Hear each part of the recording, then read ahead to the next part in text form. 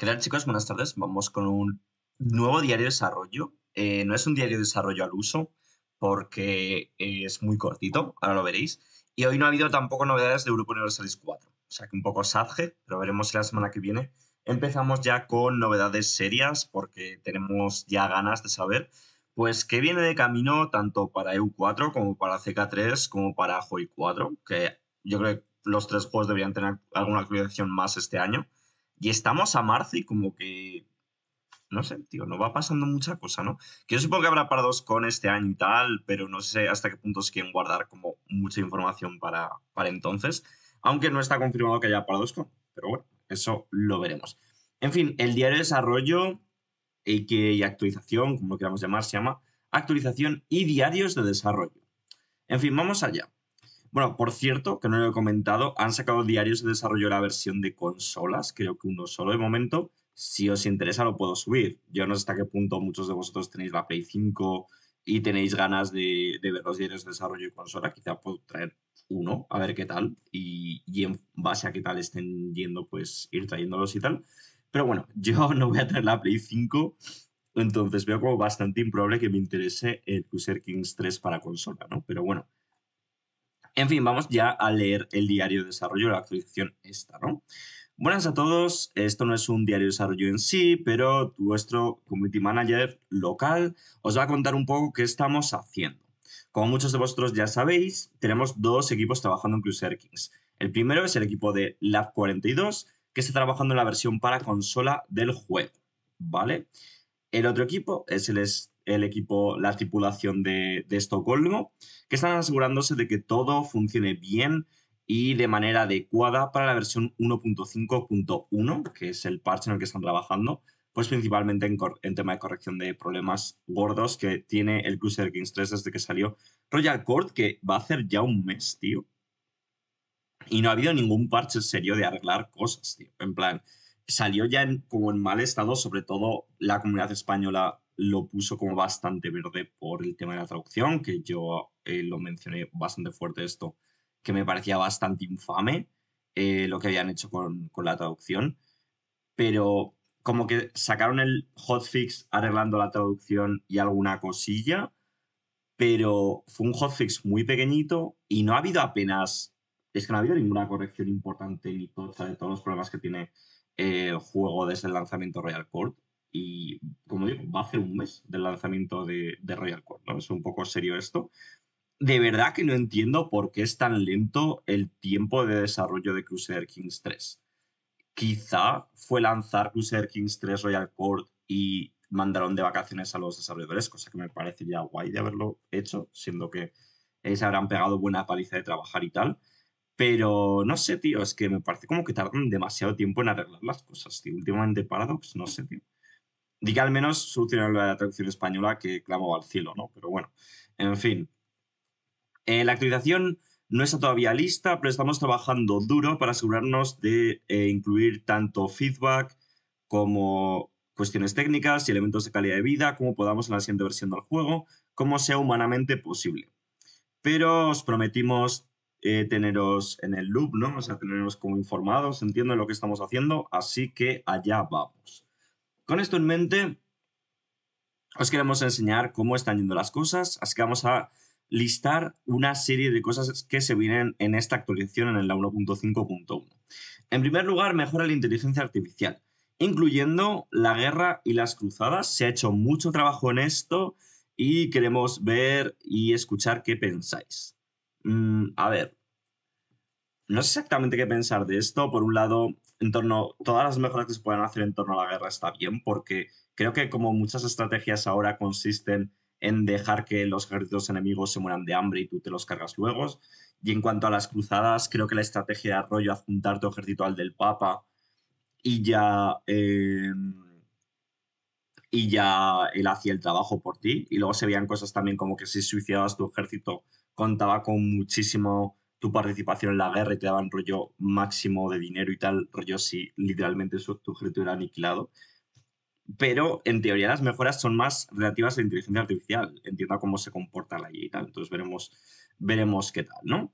Han arreglado los, las tareas de los consejeros y sus eh, los eventos que no aparecían correctamente, incluyendo el de entrenar comandantes, como ya se reportó por la comunidad.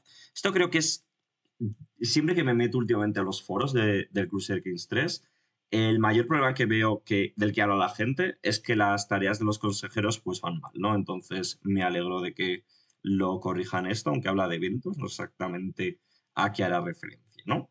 En tercer lugar, equilibrio para la guerra de Inglaterra, que, en la que Guillermo el Conquistador pues nunca parece ganarla últimamente, así que bien, no sé exactamente qué, afectará porque eh, como hace varias versiones sí que solía ganar la guerra, pero ahora parece que no lo hace.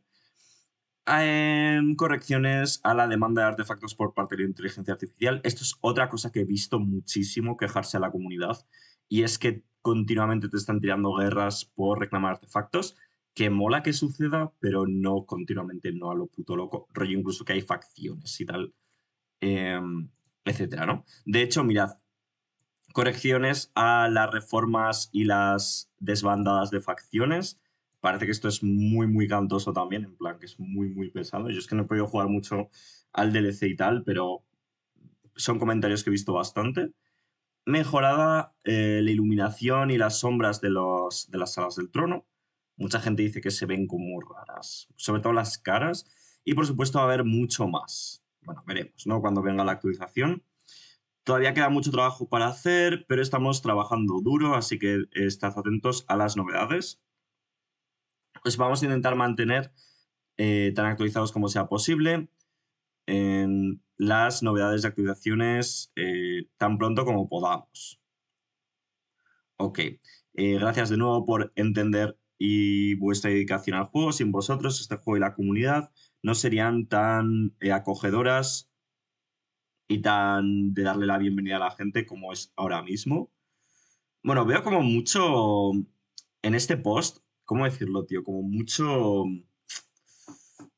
control de daños, no sé cómo decirlo, tío, en plan, como que habla súper simpático y súper correcto como para que yo creo la gente no se pase, ¿no? Los comentarios.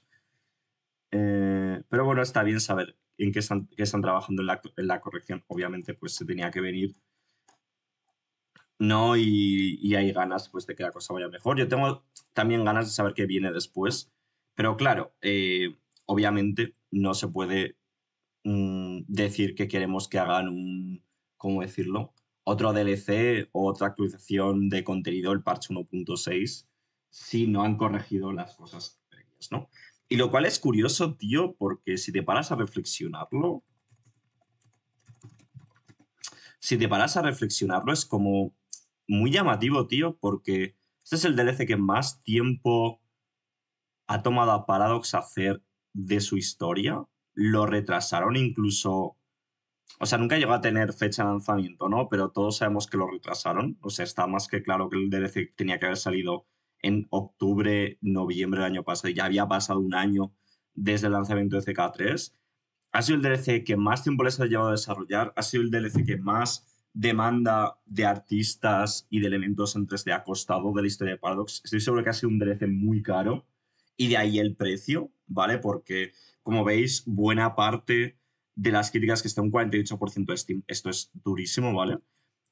Yo estoy seguro de que eh, en cuanto a coste de producción del DLC y precio que nos piden por él, estoy seguro de que está equilibrado.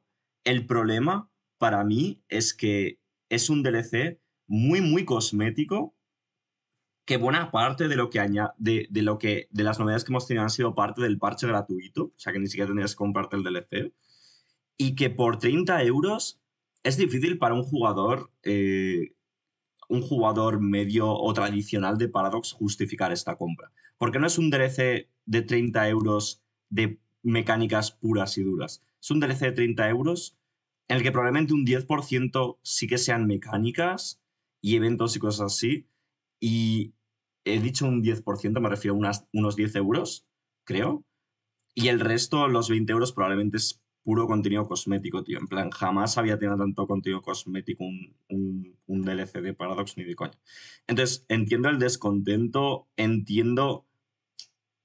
Si queréis mi opinión personal, tío, eh, para mí es como que Paradox con este DLC, o sea, con Crusader Kings 3, obviamente dieron como en, en, la tecla de algo que no habían dado nunca hasta ahora, que es todo el tema de RPG, todo el tema de que tu personaje afecte a tantos elementos del juego, eh, cosas como la personalidad o las habilidades del personaje determinen tantos, tantas cosas como mecánicas y posibilidades dentro de una partida. El problema es que han querido expandir por ahí en vez de expandir quizá otros aspectos del juego más tradicionales de, lo que sería la gran estrategia, ¿no? Como yo que sé, meter más mecánicas de combate o, o, más profundidad a los sistemas políticos, que esto es algo que vimos bastante, que introdujeran, yo que sé, elementos de afectar al desarrollo tecnológico, como universidades, o no sé, se me ocurren muchas cosas, ¿no? Un sistema de comercio, ¿sabéis? Todo, este tipo de cosas que es como que te nublarían como más la mente, en plan, con más elementos de los que estar en cuenta, de, que tener en cuenta en un juego de Paradox. Eh, como que todo esto sería importante, pero han decidido ir por esa parte que yo creo que capturan a muchos nuevos jugadores, que es como eso, la parte de más RPG, más de, mira, tengo mi sala del trono, mira qué bonita se ve, haces unas fotitos, la pones en Twitter, mira qué evento más gracioso me ha salido entre mis cortesanos que por otro lado representa una fantasía, que esto lo dije como en mis primeras impresiones, que está chula, ¿no? La idea de que tú en el Crusader Kings 3 eres el rey o el emperador, ¿no? Y viene la gente a pedirte cosas. Es como que mola porque le da cierta vidilla a, tu sociedad, como que da la sensación de que tú, efectivamente hay cortesanos y tienen sus, sus movidas y tal, y eso está chulo. Y por supuesto el, el tema de los artefactos o los cargos de la corte me parece que es una mejora de lo que teníamos en Crusader Kings 2, pero yo creo que eso es lo, que, lo mínimo que se podía esperar, ¿no? Así que de todos modos está Crusader Kings 3 en una situación un poco rara, porque no sé si habrá terminado de complacer a, ese público al que buscaban complacer, ¿vale? Pero tampoco, porque está claro que al jugador tradicional yo creo que no, no han complacido con, con esto DLC, ¿no? Entonces, se tiene que venir otro flavor pack que veremos dónde es entonces, a lo que voy es que, claro, esta es otra, tío. Hablando del futuro cercano de Crusader Kings 3. Esta es otra. Lo siguiente que se viene de Crusader Kings 3, chicos, es un parche y un DLC pequeño. ¿Vale? Va a ser algo en plan Northern Lords. El Northern Lords que hizo, chicos, introdujo la poesía, introdujo, en el parche digo, ¿eh?